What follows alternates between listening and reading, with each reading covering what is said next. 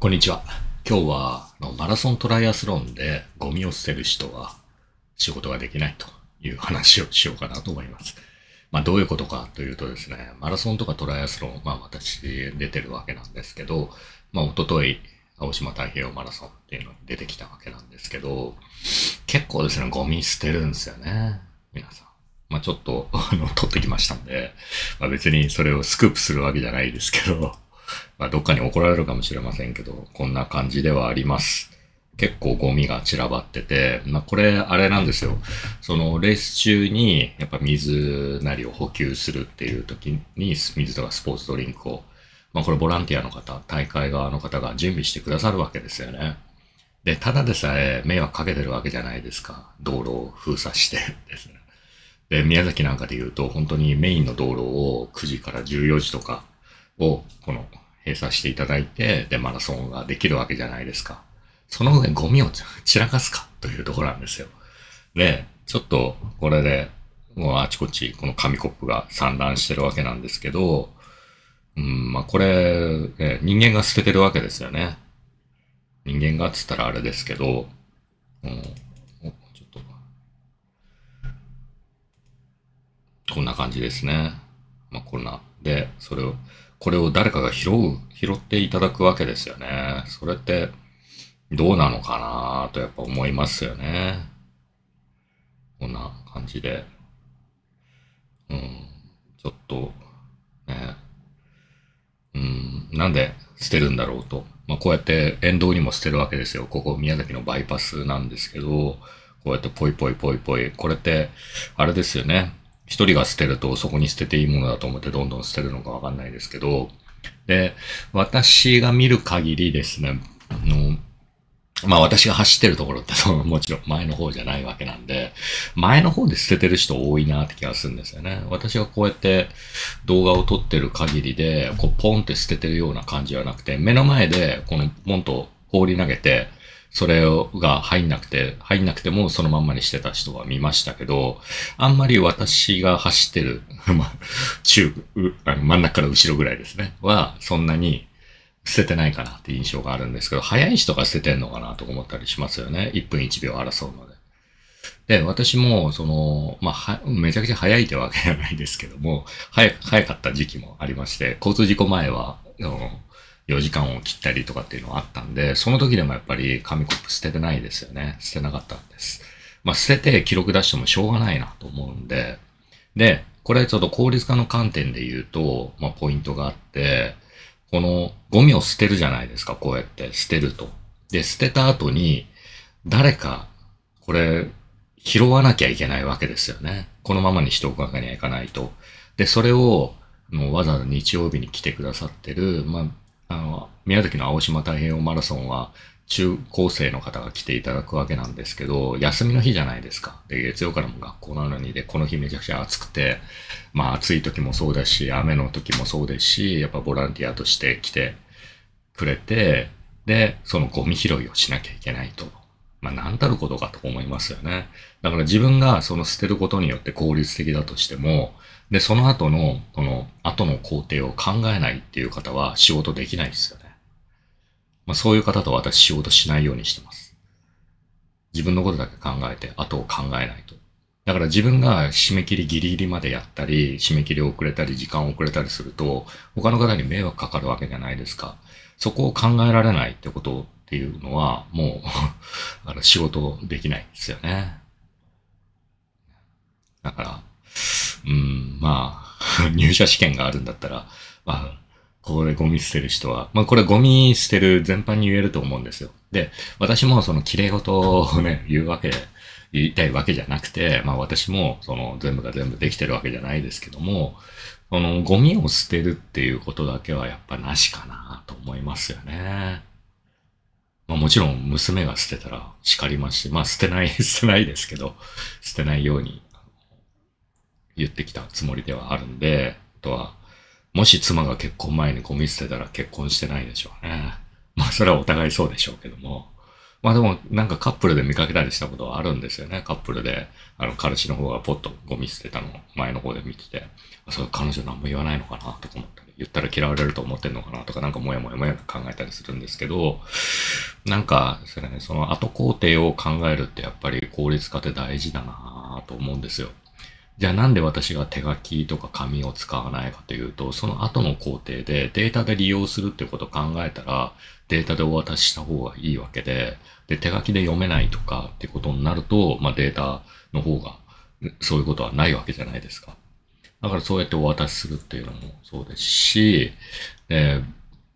まあ、その方がどうやって使うかっていう。まあ、例えばこういうデータ、こういう数字をいただきたいという話があれば、もしそれを見るだけで良ければ PDF でもいいんですけども、そうじゃなかったら、その元の Excel データの方がいいってこともあるわけじゃないですか。なんかそういうことを考えなきゃ、考えた方がいいかなと。自分が効率化するっていうよりは、まあ世の中を最適化するって考えた方が効率化は進むかなと思うわけです。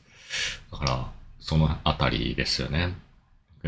で、それも考えて、そこも考えないと、ね、もともと私がやってる、その、仕事の一つである税理士の仕事だったり、経理、今までやってきた経理の仕事って、後工程なんですよ。工程が後なんですよね。だから、まあその、じゃあ経費生産ということで手書きでバーって書いて、電卓叩いてっていう紙の経費生産書をいただいても困るわけですよね。じゃあそれをまた打ち直さなきゃいけないと。まあ、それを、そ、それだったら、まあ、ちょっと、データで打ち込んでいただいた方が、まあ、全体の効率的、効率化になると。だからこういうゴミ箱に捨てるっていうのも、ゴミ箱あるわけなんで、ゴミ箱に捨てればいいじゃないですか。そうするとそのゴミ箱のビニールをこうやってくくって、で、それで終わるわけなんですけども、まあそれをこの道端に捨てるということで、もう本当にこれはいつも、これでコロナの時に一時期これが緩和さ、緩和と言いますか、厳しくなった時期があったんですけど、また戻っちゃいましたよね。まあ他のレースで行くと、そのコロナでこうやって口につけたものを落とすってことになると、で、それがやっぱりリスクがあるんで、ゴミ箱にちゃんと捨ててくださいって言ってた大会もありました。まあそれはそうだなと思うんですけど、で、その、そういう時でも、ちょっとは減ってたかなって感じですね、その時は。ちょっとは減ってたかなってあるんですけど、やっぱりこうやってゴミは捨てられていて、で、それをトングで、トングだったり手袋をして、ボランティアの方が拾っていただくですとか、まあ中にはもう今回もそうだったんですけども、このお子さん、子供、小さなお子さんがそれを拾ってくださってるみたいな、そういうシーンってやっぱあるわけですよね。まあそういうところの視界もないところでもう失格ですよね。で、この失格の制度とか作ればいいのにとか思うんですけど、ゴミを捨てたらとか。で、トライアスロンはあるんですよ。そういう大会があって、トライアスロンってもともとそのペナルティって考え方があって、まあ、例えば、特に自転車、バイクなんですけど、バイクでやっちゃいけないことってあって、で、この前の選手の後ろにペタッとついちゃいけないとかっていうのはあるんですよ。アマチュアのトライアスロンだと。で、それをやると、後で番号がこう出ていて、何番はここで2分止まってくださいみたいなので、ランの時にそのペナルティがあるんですよ。で、ゴミを捨てた場合もペナルティになりますって出てた大会がありましたね。どこだったか。私が出た時の佐渡とかそうだったかなと思うんですけど、で、そういうとこ、そういう風にした方がいいんじゃないかなと思うんですよ。で、大会によっては翌日にみんなでその自転車でそのコースを回ってゴミを拾いましょうっていうあれがあったんですけど、いや、そんなん捨てなきゃいいじゃんとか思うんですよ、最初から。そしたらそんなこともしなくていいし、まあ私は、まあ、まあ、その、ミスとかはしょうがないですよ。しょうがなくて、その、まあでも、投げ、投げて入らないのは入れた方がいいですよね。投げて入らないとかっていうのは。で、確かに、あの、ゴミを捨てるの困るときも、困るときもあるんですよ。大会によっては。こうやって飲むじゃないですか。飲んで、あれ、ちょっとゴミ箱を捨てようと思っても。で、その給水のところが、まあ、ここだとして、で、ここまでこう進んでしまうと、まあ、その進むまでに飲んじゃって捨てればいいんですけど、それが捨てられない時ってあるんですよ。で、めちゃくちゃ暑い時とかは、ちょっと水を持っときたいと、持って走りたいという時もあったりして、まあ、ペットボトルでもらう時もあったりして、そういう時捨てる時困るんですけど、でも私手に持ってますよね。手に持つかウエストポーチなり、まあ、ポ、ポケットなりに入れて、次のゴミ箱を狙ったりっていうのはしますね。で、ゴミだけじゃなくて、ちょっとこの、右下の方に、まあ、ちょっと今ですね、あ、これ、ここ映ってますよね。これとか、こういう補給食のジェルとかっていうのを捨ててるってケースもありますし、うん、まあやっぱこれなくならないですよね。で、私の影響力程度じゃこれって伝わらないかもしれませんけど、今日。で、あの、ブログにはですね、昔から書いてんですよね。昔から書いてて、こんな感じで。2015年11月とかに書いて、で、これもですね、埼玉マラソンってとこで制限時間4時間っていうハードなレースがあってですね、そこで、まあ、3時間59分でゴールした時に、一瞬撮った写真なんですけど、結構この時もこうですよね。で、これからまあ8年経って、まあやっぱ全然なくならないってことではあるんで、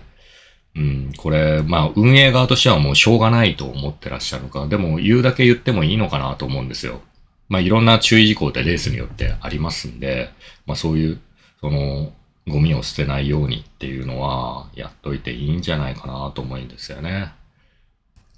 まあ、このゴミを、ゴミをちゃんとゴミ箱に捨てるとこも含めてタイムかなと私は思うんで、ね、そのゴミ箱にゴミ捨ててるから遅いんだよって言われたらそれまでですけど、まあでもそれが実力だからしょうがないですよね。そうなったら。うん、まあ、そういうことをいつももやもやと思うわけではあります。まあ今回もそうでしたし。だからその後の工程を考えるっていうのですね。あの効率、効仕事をするっていう時に、その自分の後がどうなるかっていうので、そ、それが心配になる時ありますよね。このなんかエクセルで申し込み書来るけど、これ後どうすんだろうとか、あの、逆に心配になる時あるんですよ。これはまさかプリントアウトしてまた打ち直すとかしないよなとか思ったりとか、まあそれだったらフォーム、Google フォームとか使ってフォームで入力した方がいいだろうなとか思いますし、まあ、現金払いなんかもそうですよね。結局現金で払うということは、店の方が手間がかかるわけなんで、ね、それがあるし、モバイルオーダーなんかもそうですけど、スタバでずらっと並んで、で、いちいちそのやり取りをしながらとか、注文を聞きながら作りながらっていうのを考えたら、モバイルオーダーでピピンと来て、で、それを出すだけにしといていただくっていうのも、が、まあ、お店の方の効率化になるわけじゃないですか。まあ、そうやってその、2手3手先を考える。自分がこうしたらこうなってこうなってっていうのを考えることができて初めて効率化かなとは思うんですよね。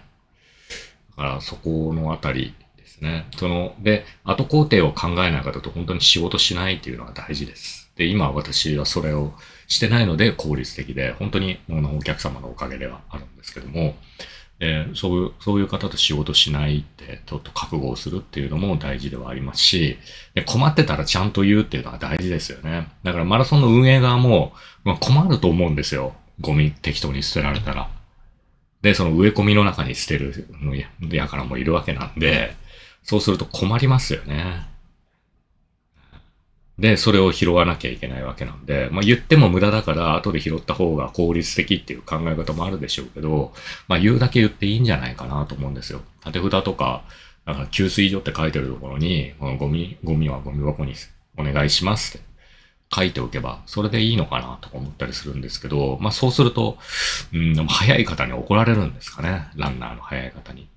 なんか裏があるような気がするんですけど、早いランで、そのマラソン中継とか、マラソン中継では私見ないんですけど、まあ、捨ててるのかなと思うんですけど、あの、トライアスロンの日本選手権とかだとトップの人がバシャーンって捨ててますよね。マジっすかって思いましたけど、あの、まあ、その捨てるのがかっこいいのかっていうのは。で、これたまにあるん、ああの、聞くんですけど、結構その暴言を言う、早く水くれっていう方もいらっしゃるらしいんですよ。あそういうのもどうかなとか思ったりしますよね。なんか、それはね、ね、はい、それで、で、それも、あの、大会によっては、これ、どっちかというとトライアスロンの方で見かけるんですけど、その、審判団とか、そのスタッフ、ボランティアの方に暴言を吐いた場合はペナルティをしますと。だからそのペナルティ、まあ、ペナルティがあることで、それがいいのかどうか、まあ、ペナルティなり、その罰で、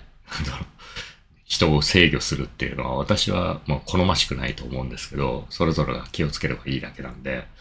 うん、まあでもないよりはいいかなというのはあるんで、まあぜひ、まあ、もしマラソンの出ている方 見てらっしゃったら、まあぜひ、ちょっとでも、ゴミを捨て、ゴミ箱、ゴミをゴミ箱に捨てていただいた方がいいんじゃないかなとは思っています。まあもう一個ついでに言うと、応援の方にありがとうございますって言うのっていいかなと思いますよね。私必ず言うようにしてるんですけど、まあこれも、まあチームには進めたりしてるんですけど、まあ、せっかく声かけていただいてるんで、なんかしんどい顔してるだけじゃなくて、まあそういうことやってるから遅いんだってまた思われるかもしれませんけども、もうそれも含めてマラソンとかトライアスロン楽しめればいいんじゃないかなと思います。もうほんとずっとそこに、あの、立って